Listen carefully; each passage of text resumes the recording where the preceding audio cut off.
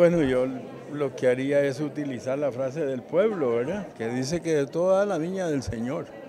Pero yo creo que esta experiencia es buena en el sentido de que debe permitirnos fortalecer la institucionalidad del país.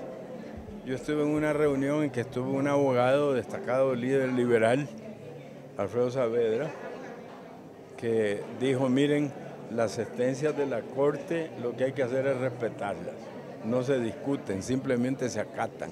Y yo creo que este caso también debemos de esperar a que sea la, la justicia la que diga la última palabra para tener que aceptarla, sin olvidar que la justicia no es lo mismo que la legalidad. Ahora, se habla de un segundo caso de Pandori que podrían estar involucrados ex diputados al Congreso Nacional que recibieron fondos igual de ONGs y fondos departamentales, incluso se habla de gente de la democracia cristiana. ¿Usted pues se siente libre de todo pecado? Absolutamente. El problema no es que yo me sienta libre, el problema es que en Honduras todos nos sentimos culpables, porque hemos construido una cultura de la sospecha. Si a alguien se le ocurre decir que le dieron dinero a los periodistas, todos ustedes van a aparecer como culpables también. Yo creo que eso es injusto. Y yo, por supuesto, he creído siempre que la vida es una sola, la vida pública y la vida privada. Y siempre me he sometido al veredicto de mis amigos de la población. Usted participó como candidato a diputado y igual puesto, usted no tuvo necesidad de que alguien le financiara a través de ONG, por ejemplo, su campaña política. En absoluto. Y yo soy fundador de ONG y soy fundador de la Federación de Cooperativas de Ahorro Crédito. He andado metido en el área social desde el año 60. Pero el ser honrado no lo enseña la sociedad, ni la escuela, ni la iglesia.